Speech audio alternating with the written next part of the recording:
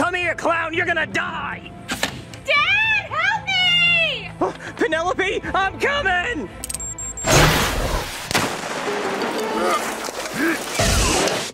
Don't let your kids watch it